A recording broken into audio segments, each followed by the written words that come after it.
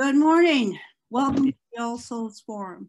It has been continuing since uh, 1945, I think it is. Uh, we are a program that presents current, live, important uh, issues that are ongoing. Now I'm going to introduce, I think, this morning's host, Mr. Craig Lubow, who will tell us about Stan Thomas and D. Bell, who are uh, going to discuss the law. All right, thank you, Rita. So I am Craig, and I am a criminal defense attorney and also do family law too.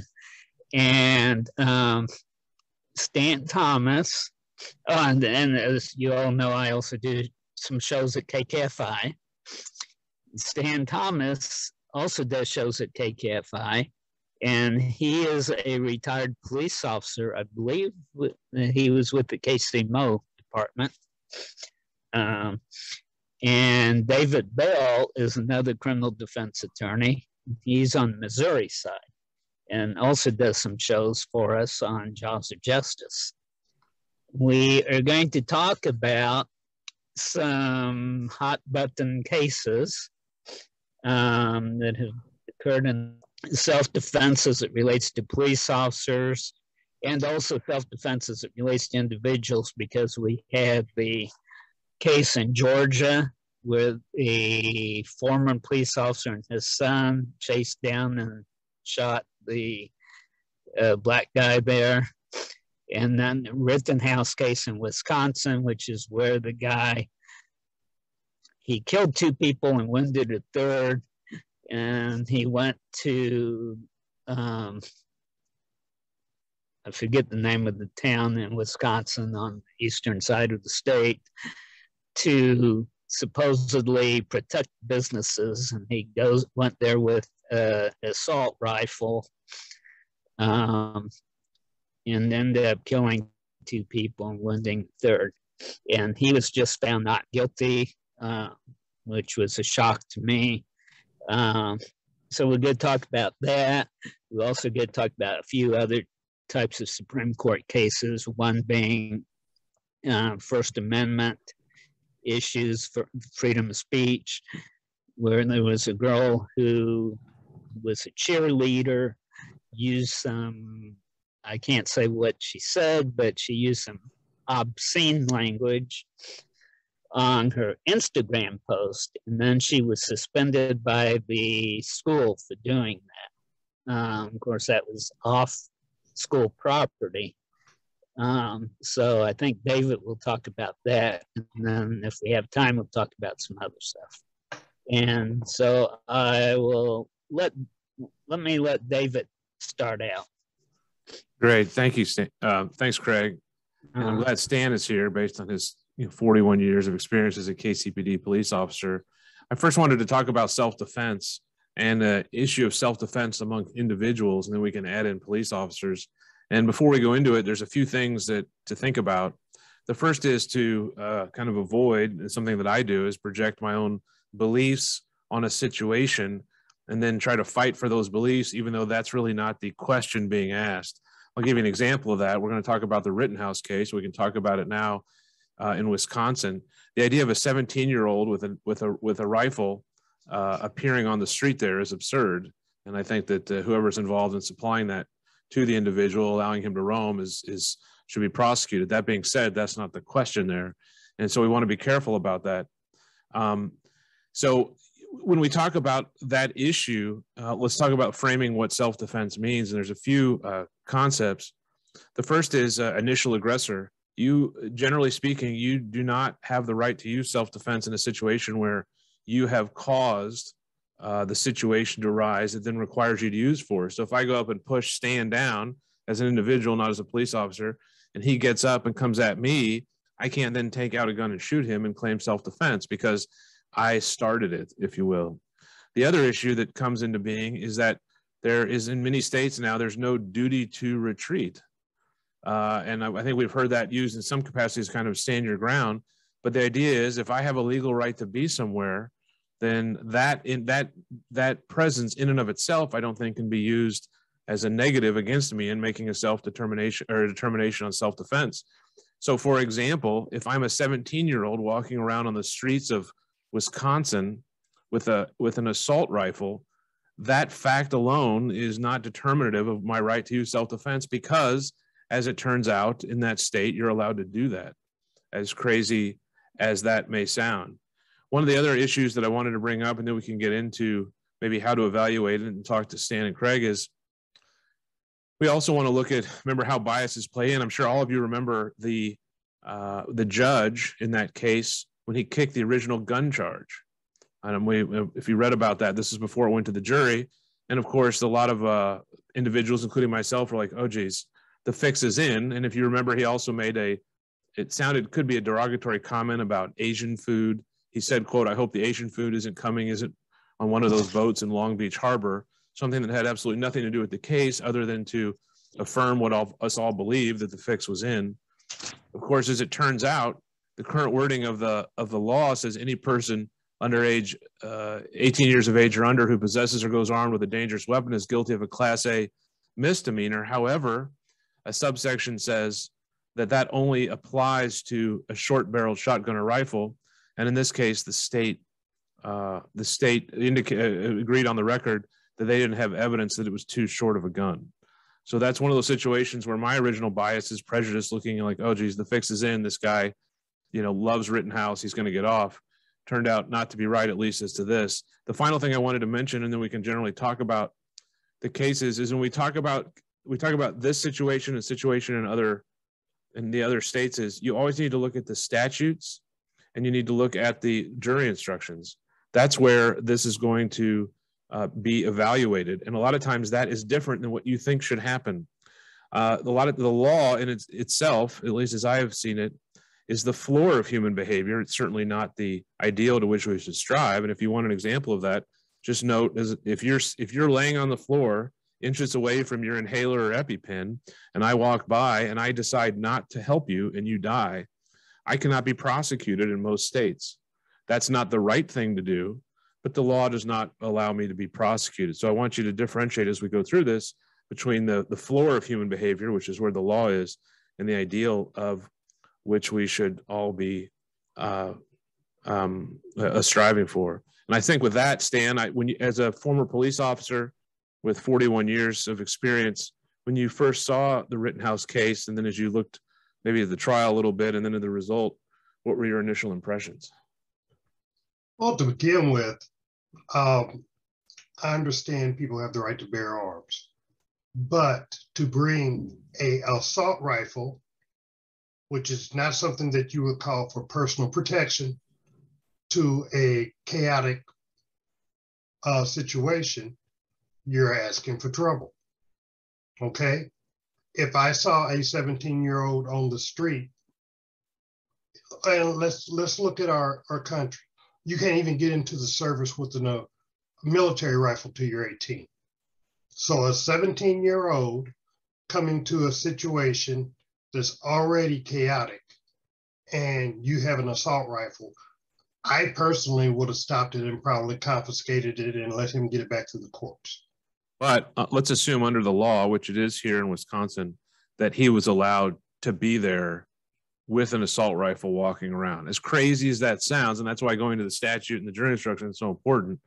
How then do you look at it from that point forward? Again, oh, what are you trying to protect? You know, do you have property in that area? Do you have loved ones in that area? I mean, you're asking you're asking for trouble bringing something like that. You you're you left the house with a purpose. My so, opinion. Right. You know, you left the house with a purpose, a loaded assault rifle assault rifles are meant to kill people. You're not going hunting for deer. I'm sorry, this just, and I understand, I can only look at it from the law that I grew up with. So, and, and, and by the way, Stan, I completely agree with you. And I started out with that, but let me look, look at the law that which they, in the testimony The law of self-defense allows the defendant to threaten or intentionally use force against another only if the person believed there was the actual or imminent unlawful interference with the defendant's person, that that was happening, and that the defendant believed that the amount of force he used or threatened to use was necessary to terminate that, terminate that interference. So it's uh, that there was an actual or imminent unlawful interference with the defendant's person. So here's the brief testimony that came out. Witnesses at the trial testified that the first man shot and killed, Joseph Rosenbaum, 36, was, quote, hyper aggressive and acting belligerently that night and threatened to kill Rittenhouse at one point. One witness said Rosenbaum was gunned down after he chased Rittenhouse and lunged for the young man's rifle. Rosenbaum's killing set in motion the bloodshed that followed moments later when Rittenhouse killed Anthony Huber, a 26 year old protester seen on bystander video hitting Rittenhouse with a skateboard. And then the final person, this is the person who uh, Craig indicated had was injured, a protester and volunteer medic wounded on the streets of Kenosha by Kyle Rittenhouse testified that he was pointing his own gun at the rifle toting Rittenhouse unintentionally, he said, when the young man shot him. And so, Stan, if we get past the the what I will call the the almost innate repulsive nature of a 17 year old walking around the streets with a with an AR-15, and we go into the moment, it would seem like the jury instructions here would say that hey, if you're allowed to be there with that gun, as repulsive as it is, then if someone comes and attacks you, you can shoot and kill them. And if someone comes to smack you over the head with a skateboard and you believe your your uh, um, your your physical safety uh, is somehow in jeopardy, then you're allowed to use that gun. Well, strictly on putting it like that, at that point, you are trying to protect yourself. Um, but, you know, again, I, ha- I have to go back to in in the state of Wisconsin, that party would still be considered juvenile. Is that correct? That that is correct. Although there is a the, go ahead, go ahead, Stan. The law states that we're not a 17 year old is not allowed to make most adult decisions. That's right. Because they're not an adult until they're 18. I think he was actually tried as an adult, waived to adult status, if I remember. Is that right, Dave? I don't know if he was waived. He was definitely definitely tried. But the, yeah. the issue that, that Stan you're going to is more of a structural issue in the law, which I agree with. But the, my analysis here was did they follow the law as is written, as horrific a decision as it appears to be? That's why when they pass these statutes, that a 17 year old presumably or somebody can walk around the street waving a gun or having a gun on his uh, on his shoulder, a, a semi automatic AR-15, that, that, we would hopefully stand up if we believe that's not right, because these are the type of situations that it that it breeds. Point to raise, uh, to think about, to ponder, is I'm wondering if the Rittenhouse case is a really good poster type case to show how the Supreme Court has maybe gone too far in its right to bear arms interpretation? When they first passed the CCW law, I was on the street and I was afraid that, that this was going to get out of hand. Okay. Most citizens would have a fear of being booked on a felony for having an unlawful weapon. But now at this point, seeing as how that is not the case that much anymore, we've almost become the wild, wild west. Right. Homicides, assaults are at a record pace because nobody has a fear of taking a gun out of their house anymore. It's it's fascinating to me, Stan, that there is no law, or at least there is no there is no push in society, regardless of whether it's a law or not, to say that your duty as a as a citizen, as a member of society, is to de-escalate a situation first. Because certainly that's what I would teach to my children. That's what I would expect of my friends. That's what I expect of my family. If you're in a situation, you need to de-escalate first. What I'm worried about, what some of these laws say, is you don't have to de-escalate. You can stand your ground, puff your chest out, and if that person puffs his or her chest out back at you, then you can go for your gun. But the, you again, the problem is that we as police officers are trained to de-escalate situations the best that we can. John Q. Citizen does not have that training. Right, and that's uh, and right, and we see that problem a lot because a lot of citizens aren't trained to deal with stress, adrenaline, high levels of it um, that, that occur in short periods of time.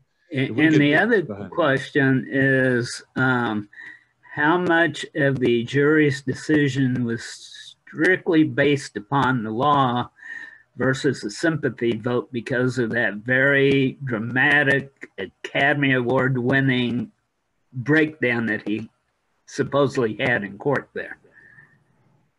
Right. With the crying, I, you know, I, I don't know. I, I can tell you that from what I've looked at, if you can get over the idea of him being there with a gun and he's then, then, then it, then it becomes what Stan says is the Wild West. And in the Wild West, I think it's going to be hard for the law to dictate uh, who is defending whom against, you know, who is defending themselves against some other threat. Everyone's a threat. Everyone's self-defense. It's like an MMA cage fight is what it winds up being. Who's who's the who's the responsible party there? And David, you and Craig have been in courtrooms, and most people are not going to. They don't want to upset the judge. So if a judge gives you specific instructions, that weighs heavily upon your decision. Like That's you right. said, David, the fix was in. Right. Well, and I would say it was in by the by the the way the law was written. And so going to, to Chauvin real quick, and remember Chauvin is the case of the the um the officer that was that was kneeling on the back or the throat of George Floyd. You know, one of the elements that that adds in is the authorized use of force by a police officer. And here's from the instructions from that case. It says no crime is committed if a police officer's actions were justified by the police officer's use of reasonable force in the line of duty in effectuating or in effecting a lawful arrest or preventing an escape from custody. The kind and degree of force a police officer may lawfully use in executing his duties is limited by what a reasonable police officer in the same situation would believe to be necessary. Any use of force beyond that is not reasonable. To determine if the actions of the police officer are reasonable, you must look at those facts which a reasonable officer in the same situation would have known at the precise moment the officer acted with force. And I guess I, the other thing I wanted to point out in this case, and I want to hear if it's okay from Stan based on his experiences. Let me read the jury instructions. There, there was he was committed. Chauvin was committed to three felonies. Let me read the most serious, just so everyone understands um, how it worked.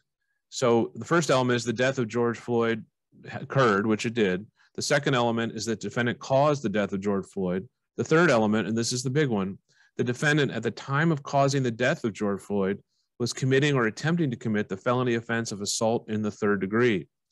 Assault is the intentional infliction of bodily harm upon another or the intent to inflict bodily harm upon another. The intentional infliction of bodily harm requires proof that the defendant intentionally applied unlawful force to another person without that person's consent, and that this uh, that this act resulted. So uh, the the issue here is and we see this with felony murder, and that's in Missouri as an example. If I steal a car and I'm driving at a high rate of speed, that's a felony. If I wind up, God forbid, hitting a, uh, someone walking in the street, and I never got out, I never thought about that in the morning I woke up, and surely wasn't thinking about the moment, but I'm not paying attention, and I hit someone and kill someone, because I'm in the commission of a felony, the death of that person is automatically on me as if I took out a gun and shot him, and that's what uh, that's what Chauvin was convicted of here, along with some other things. I'm curious, Stan, what were your thoughts about about the that verdict? I know that was heavily watched by law enforcement.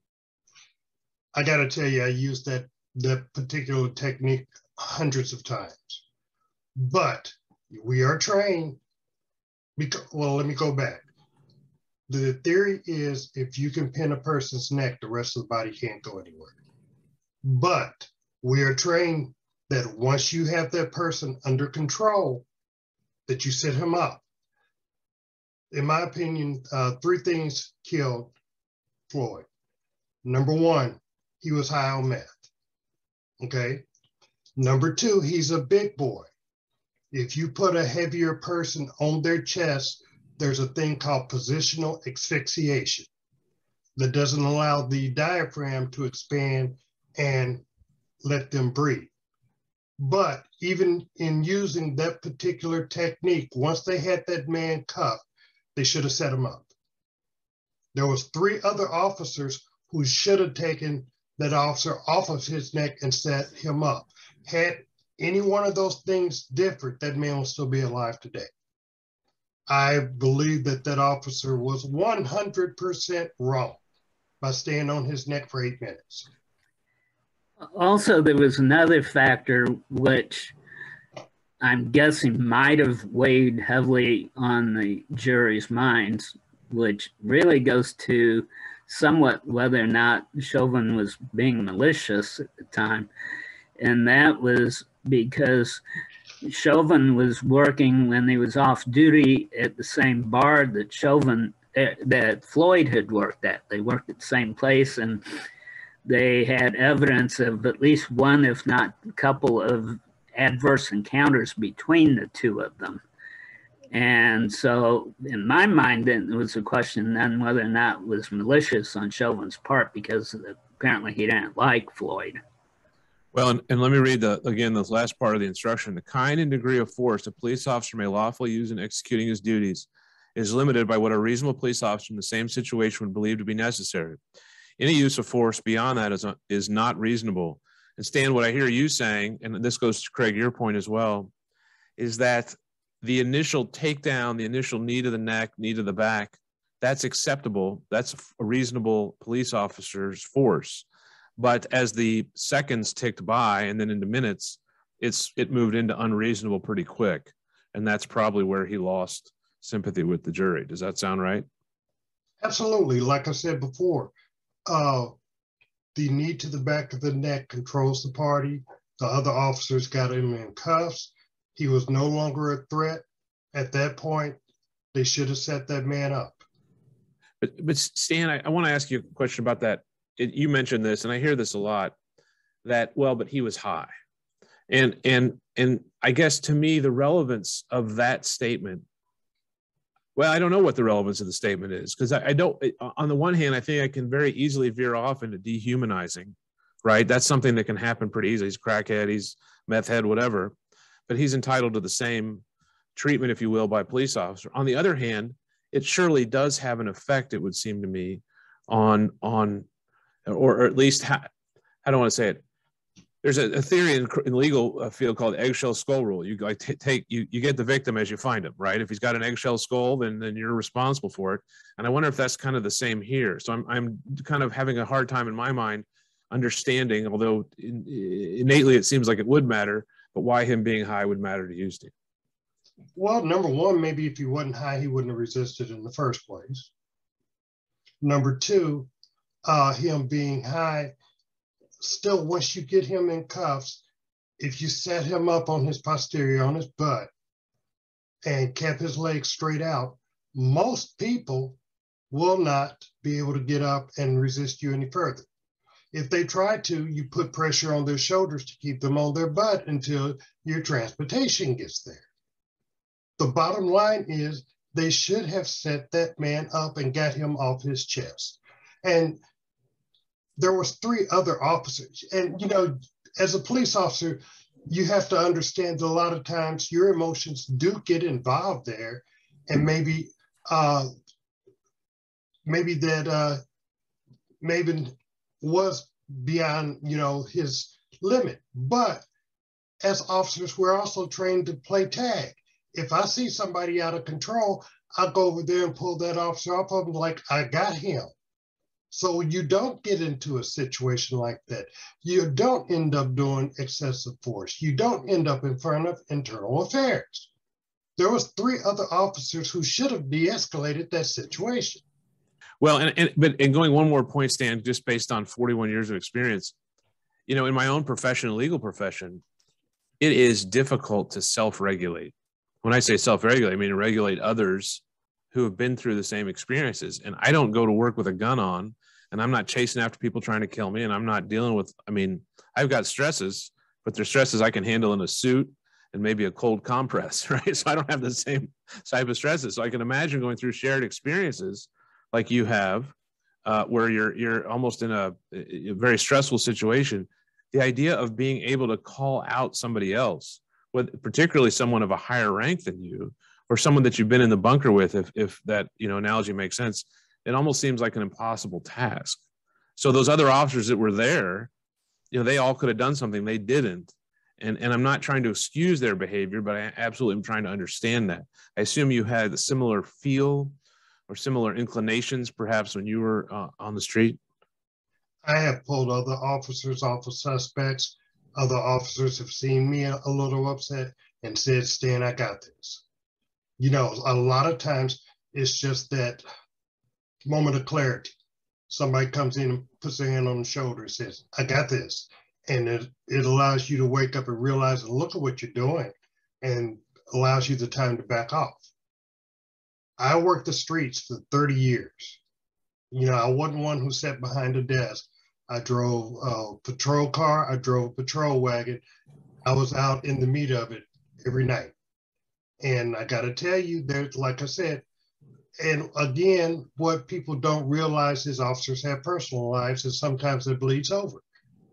If I, David, if I knew you were going through a divorce and you were about edgy, I'm watching you, how you handle a call. If I see you getting a little irritated, I'll pull you aside and say, I got this because I don't want either one of us to end up in a fight or in front of internal affairs trying to explain our actions, or at the very worst, in front of a jury of 12. But but I wonder, is it too much to ask? Is it too much to ask of human beings, whether police officers or any, anyone else, to to be able to rev up to go from zero to 60 in 2.3 seconds and then be in a physical altercation, but then be able to maintain professionalism, if there's such a thing, in the in the uh, in, in the physical altercation? I got to tell you, we are a special breed. Most cops are adrenaline junkies. Okay, you get ramped up, and sometimes from the time you leave the station to the time you get back, it's one call to call to call.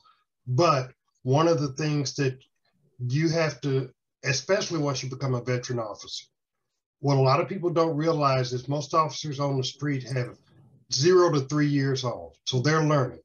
And I, I, anybody in the in the forum here, uh, I ask you, how good were you with three years into your current position? You know, you were still learning, and these are the officers who are being judged on the street every day. But again, you have to work as a team. Okay, and if you you are ramped up, a lot of times, if you feel yourself ramped up, I would take an extra five minutes before I got back in service. You know, and then go to the next call. You know, unless it was something of dire emergency. Mm-hmm. Stan, okay. uh, how how much of it is also the result in some jurisdictions, you know, when they screen police officers to hire them, different jurisdictions do more screening than other jurisdictions and stuff. How much of that contributes to these issues, these incidents occurring? You know, in the state of Missouri, they have Class A, Class B, Class C uh, cities based on population. Mm-hmm. Okay. And Kansas City runs the regional uh, training academy for Class A and Class B cities, I believe. And this is the way it used to be. I'm not sure. Again, I've been out for 13 years from full time, but you know, the Missouri POST requires 640 hours of training for Class A and Class B uh, officers before you can be certified as a police officer. Not to mention ongoing in service training every year. Okay, smaller jurisdictions, I cannot say for sure what those requirements are or how much training they actually get. Well, and also I'm thinking too of the psychiatric um, screening because there's some people who just probably are not cut out to be officers. You have to look at, and again, do not quote me on these numbers. But if you got a hundred people who apply as a police officer, maybe, maybe 50% will make it through the psychological, the written, and the physical to get to the academy. Out of that 50, you may graduate 25 of them. Oh, you know, one of the other things, Stan, that, and then we, I think after this point, I think it's probably time for a little bit of a break. But, but the other one of the things I've seen, both with um, with prosecutors and particularly police officers is the responding to high conflict, high pain areas, just witnessing those things would create what I can only describe as a PTSD like condition to see that day in and day out. And I do wonder the extent to which police officers, particularly of your generation and maybe the newer generation, are willing to consider therapy, something uh, that they can do other than just lifting weights to process the incredible amounts of trauma that they've seen. And, and this came, the thought came to me. I was talking to a friend of mine who's a prosecutor, and he shows up at every homicide during a particular period of time, every homicide in Kansas City. Oh my God, to show up at the scene, I get pictures of it later, right? It's still horrific, but to show up and actually see the body, to smell the scene, to hear the cries has got to be traumatic day in and day out. And I'm wondering from your standpoint and then the newer police officers, how, what is there to deal with that in a healthy way? Uh, the biggest thing is to be able to vent to your other officers, or it even helps to be able to vent to your spouse. Uh, also, the department does have a, they offer psychological help for anybody who wishes to go.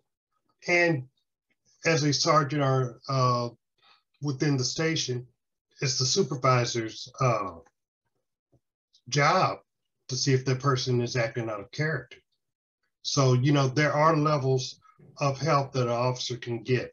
I was lucky enough with all the stuff I, I saw over the years, I was fortunate enough to be able to handle it.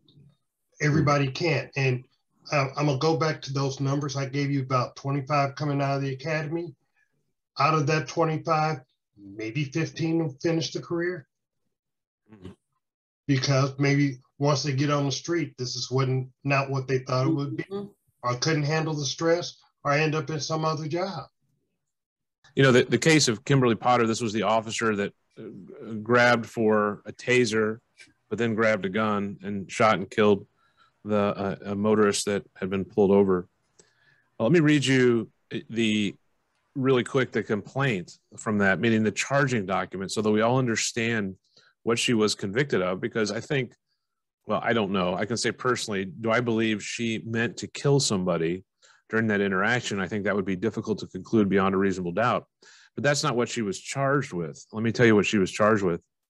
It said that while committing the offense of misdemeanor reckless handling or use of a firearm so as to endanger the safety of another with such vo- force and violence that great that death or great bodily harm to any person was reasonably foreseeable let me read the whole thing. It's um, on or about April 11, 2021, in the city of Minnesota, defendant Kimberly Potter caused the death of Daunte Demetrius Wright while committing the misdemeanor offense of reckless handling or use of a firearm so as to endanger the safety of another with such force and, and violence that great that death or great bodily harm to any person was reasonably foreseeable.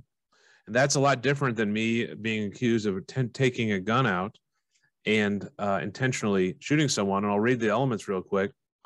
That the, the, the, defend, the, the death of Daunte Wright was caused by defendant committing the crime of reckless handling or use of a firearm. There are two elements of reckless handling or use of a firearm. First, the defendant recklessly handled or used a firearm. A person acts recklessly if, under the totality of the circumstances, she commits a conscious or intentional act in connection with the handling or use of a firearm that creates a substantial and unjustifiable risk that she is aware of and disregards. Second, the defendant handled or used the firearm so as to endanger the safety of another person. And here's this key point that we see in a lot of these jury instructions that people kind of miss. It says it is not necessary for the state to prove any intent on the part of the defendant to kill anyone. I'm wondering, uh, Stan, from your from your standpoint, I know they, you know, I've never shot a taser, but I, I know they're shaped differently they're colored differently you put them on different sides of your body. Help us understand what happened in this particular case and whether or not you agreed with the verdict. And, and if you did or you didn't why or why not? Uh, first of all this was a tragedy. Okay. I can only again speak from the way we were trained. When we received tasers number one we were instructed to put them on the non-lethal side of our belt Number two, the particular equipment we had, the holster was around our leg as opposed to being on our gun belt. Oh. So you've got Now, two things to keep you away from grabbing that. It's on your left side and it's slung lower down around your leg. So as we decided to use the taser, and thank God I never had to use I did pull it, but thank God I never had to use it. You were doing it with your non-lethal side. And they actually sent us home when we first got them because we were we checked them out at the station. But during training, they actually sent you home with one so you could wrap it around your left leg or you know if it's you're left-handed around your right leg so you could practice pulling that for that particular instance. Hmm. Now, that particular department, did they have their equipment set like that? I don't know. Okay, I can only tell you the way that we were trained. And when I went for my taser, it was ingrained in my, because taser training was a 40 hour course. Oh, wow. So, like I said, for five days, we actually got to take one home, hook it to our gun belt, and practice at home going specifically for that. You know, the same thing happened to uh, the Oakland officer uh, um, at the uh, BART station, whereas he would to he thought he was reaching for his taser and reached for his weapon and end up killing someone. It is a tragedy.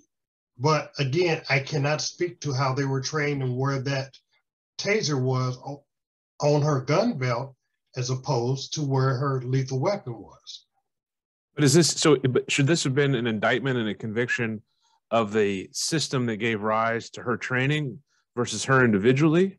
Meaning that meaning the fault lies with the structure that put her taser in the wrong place potentially, or didn't give her enough training to avoid this this particular instance. Dave, one of the things too is on that, part of the evidence was that besides her being trained, she was actually training other people at that point. Mm, wow. So.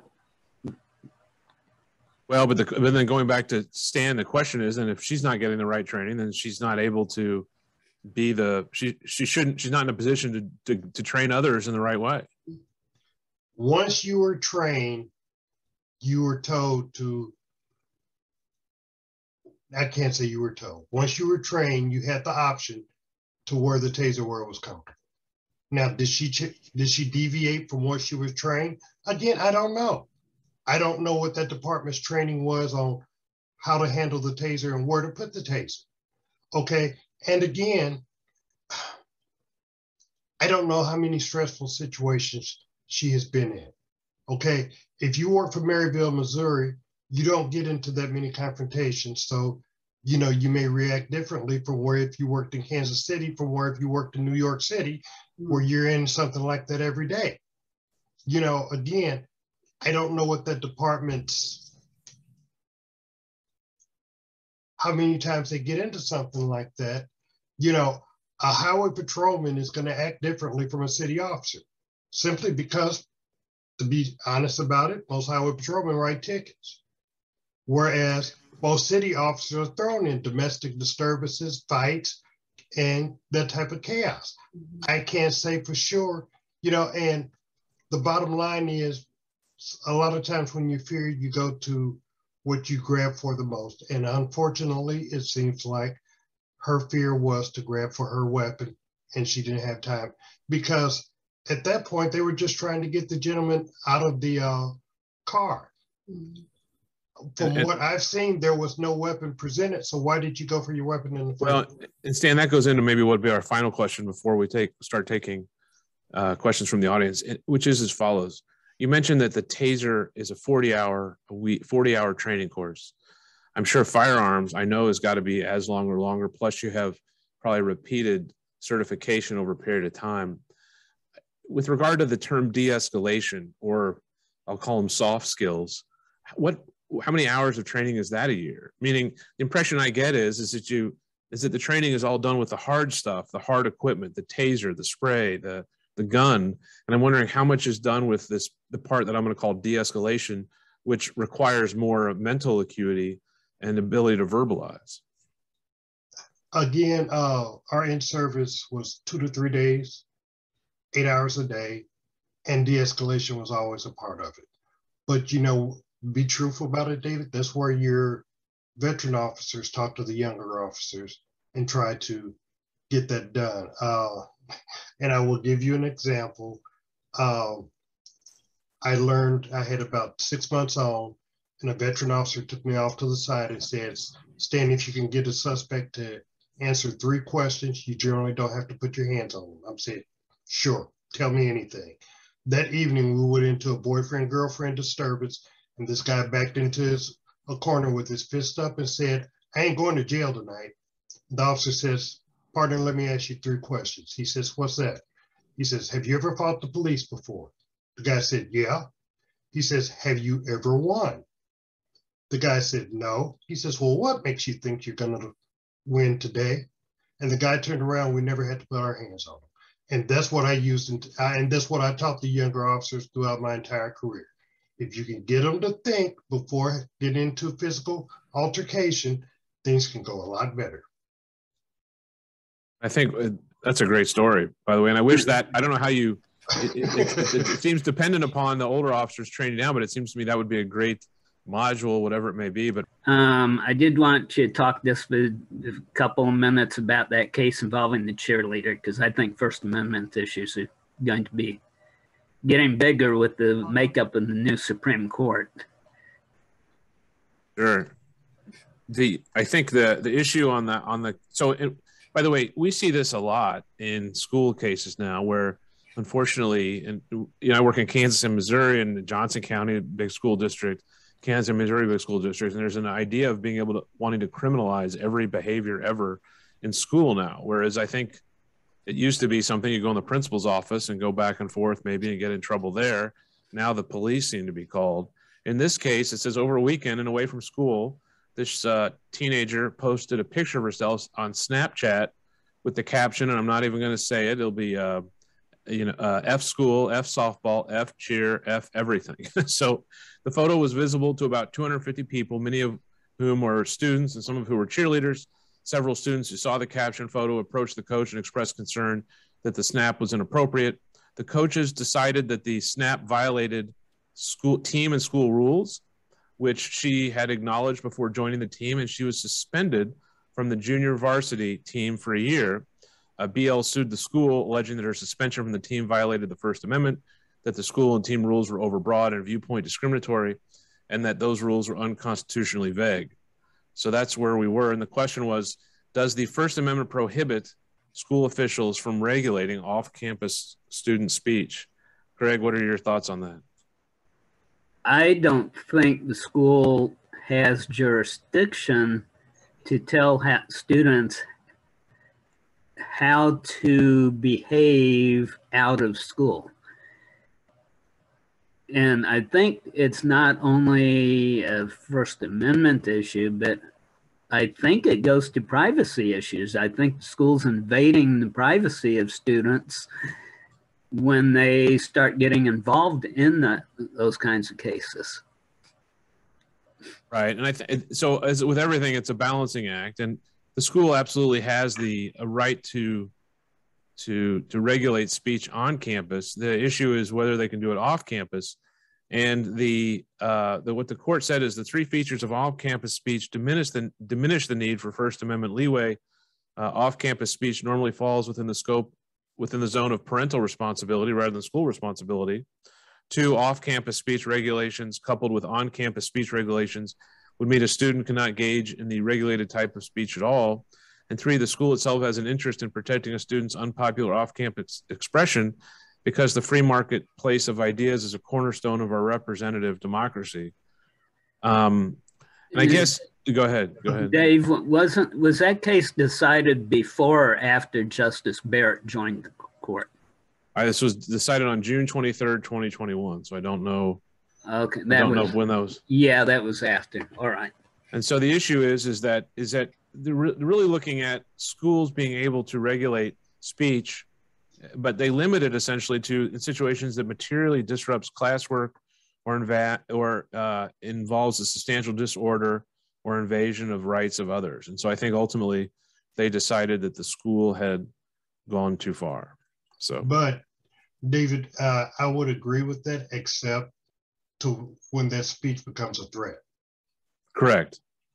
And I think that's going to be, I think that's, I think that is, that still exists, absolutely. But it's difficult. I, we see that all the time now. I'll tell you the biggest thing we see is for some reason, and maybe, I, you know, I'm, I'm just thank God I didn't grow up with cell phones because I'd be in prison right now probably because every child seems to be sending pictures of themselves to other children, sending these type of messages to other children.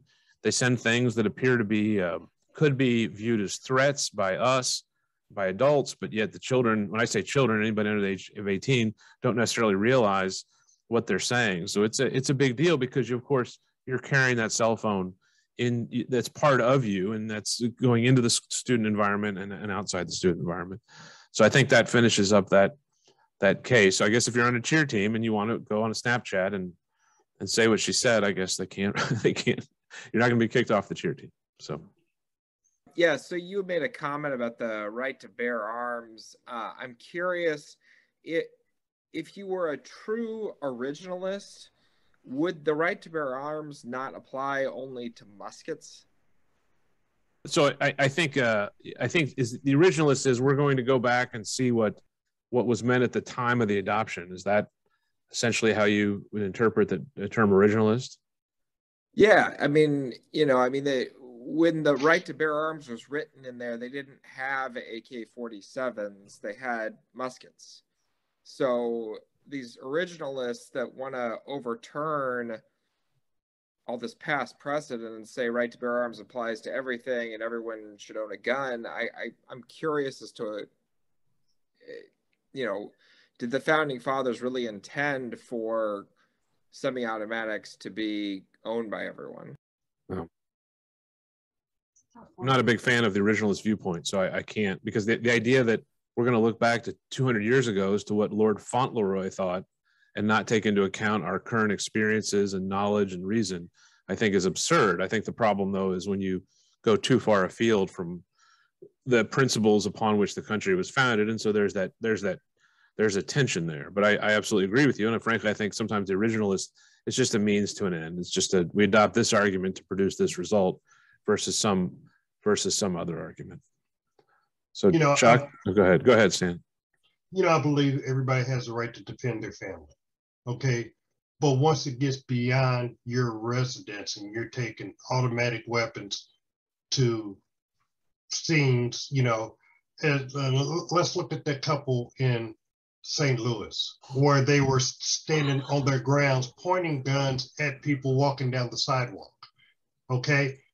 Again, you haven't come up, come on their property. It's a public sidewalk, but yet you're committing an assault every time you point that weapon at somebody. That's right. There, there Yeah, is a There, has got to be a boundary, you know, of the right to bear arms and to protect one's life and property. Okay, but once you go beyond that, now you're you're going out looking for an assault. Just my opinion. There's a question in the chat window. It says, did Rittenhouse's mother break any law in the course of the purchase of his gun or driving him to the demonstration? I, I, if I remember right, and it, this is not now I'm just making stuff up, but I think he supposedly picked the gun up in the state of Wisconsin. I don't know if his mother actually brought him there with the gun in the car, how it was purchased. So I don't know the answer to that that question. Yeah, I, I don't know where he got the gun. I know she did drive him to the She did drive him Yeah. right. So But I think son that- is not old enough to drive, but he's old enough for you to take him to a protest with a weapon. Right. So that's where I think the mother's went. And by the way, you see that in the the child that the shooting at a, I forgot what high school where the parents uh, allowed the child or purchased the child the handgun In and he went Michigan. in in Michigan and went able Yeah. to to shoot to shoot people. And I I don't uh, They have been charged now. They're charged with the accessory to murder whatever. So, um, so it says a phone interview, uh, Rittenhouse revealed that the gun he used in the shooting was purchased using money he received from an unemployment check. Rittenhouse could not legally purchase the weapon, so he gave the money to a friend to buy it for him. Uh, I got my twelve hundred dollars from the cor- coronavirus Illinois employment because I was on furlough from YMCA, and so I, then he went to buy it. And then, oh, and then it says online court record show prosecutors charged 19 year old Dominick Black on November 3rd with two felony counts of supplying a dangerous weapon to a minor causing death.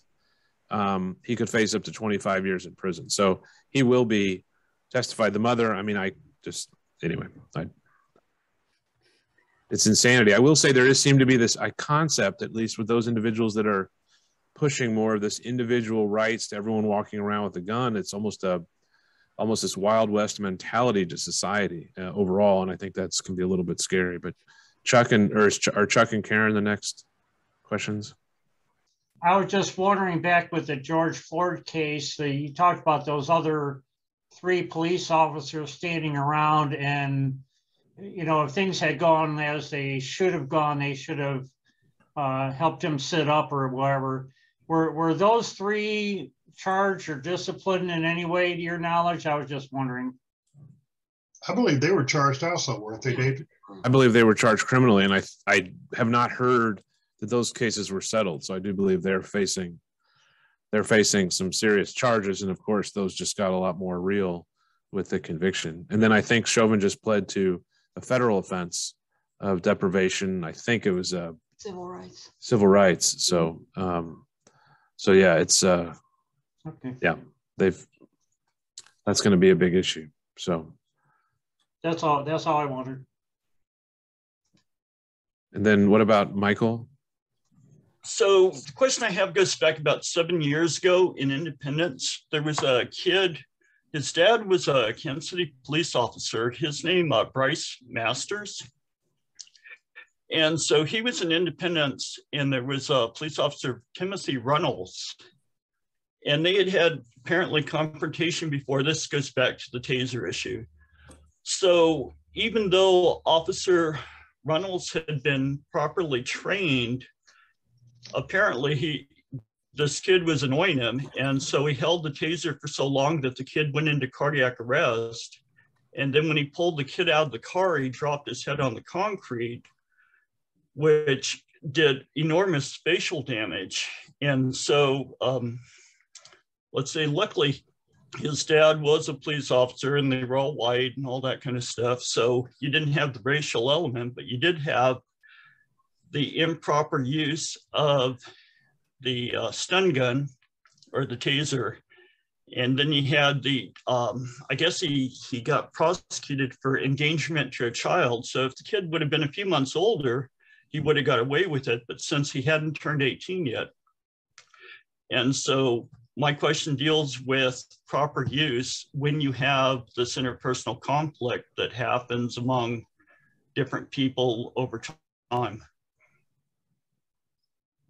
Okay, and, I'll, I'll speak of that because I know the uh, the young man's father. He was on KCPD. I know him personally, and if I remember correctly, and again, don't quote me, but I believe that officer had been kicked off of KCPD for excessive force or one other agency for excessive force before he was hired upon Independence. And like you said, that they'd had some previous contact with each other. And again, he was 100% wrong you know, I I'm telling you from my experience, I don't have a problem telling you when police officers are wrong. Okay. There's a thin blue line and everything, everybody talks about that. But if you are wrong, you are wrong. And in that case, he was 100% wrong and probably should not have been hired by Independence PD in the first place because of his previous record. So, Stan, the question I've got on that is that when an officer is fired for excessive use, what can be done to make sure that other departments know? And do we need some kind of a national law that says you can't, that if you lose your law enforcement certi- certification because of excessive use, that no other police department can hire you then? Well, see, one of the problems is a lot of times in that situation, they can say, okay, you can resign or we can fire you. Mm-hmm. Now, if you choose to resign, then that information might not be made public to the next agency that you go to apply for, you know, because then it just looks like a resignation as opposed to a termination. You know, now once they start again, a lot of agencies, smaller agencies, don't have the resources to do the background information, uh, say a KCPD. And depending on how, again, based on our society, depending on their shortages, they may look it's better to get an experienced officer and get him trained quickly as opposed to hiring somebody off the street. You know, and uh, I know I'm going to open up another can of worms, but where people are talking about defunding the police, this is one of the problems that we're going to run into. Okay, because it's hard enough to get experienced and qualified people through the academy and everything, but then you're going to take resources from the police department and limit the, how much they can people they can get trained. Kansas City is approximately 300 officers short of what they should be.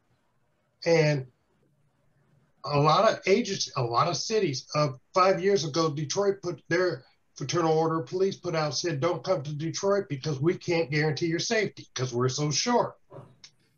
And I'll, I'll drop off that, that particular subject right now. I'm sorry. And so I want to thank everybody for joining us. And um, thank you, Stan, and thank you, David. Absolutely. Thank you for inviting me.